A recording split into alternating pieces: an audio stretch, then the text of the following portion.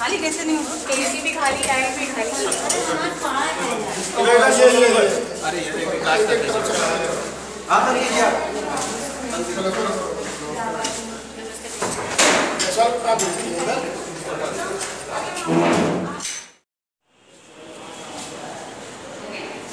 भाई बात करो कैसे भाई?